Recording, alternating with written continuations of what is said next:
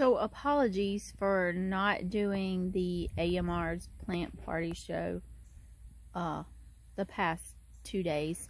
Uh Monday was actually going to be for mom's house and then it decided to rain. And then yesterday I guess I was just lazy. So okay. Here we go for today. Episode I don't know, 4 maybe. Today we are going to talk about plants that don't do what they're supposed to. So let's take this one for instance.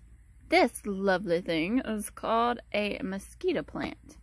And while it was told to me that it's not supposed to be a perennial, it does come back every year. And when it blooms, it has these cute little pink flowers. Now, it's called a mosquito plant because it smells like citronella. And so what do you think it's supposed to do? Yeah, it's supposed to keep mosquitoes away.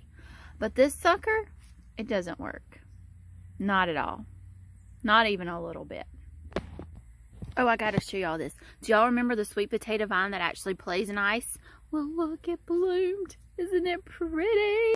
Speaking of things blooming, remember the Asiatic lilies that were just buds last week? Look at them. Don't they look like lilies of the valley? They're so pretty. Anyway, this is what they look like when they bloom. So if anybody's in the area and wants one, come see me. Back to our regular scheduled programming. This is a marigold. And you plant them in or near your garden to keep out unwanted bugs and pests, right?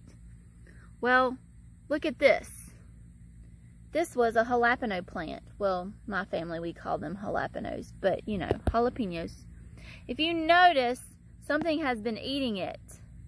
Therefore, this guy is not doing his job, meaning this guy is not doing his job. No jalapenos from you. Additionally, let's talk about this pitiful looking thing. Okay, this is supposed to be one of our tomato plants, and I'm pretty sure it's a better boy.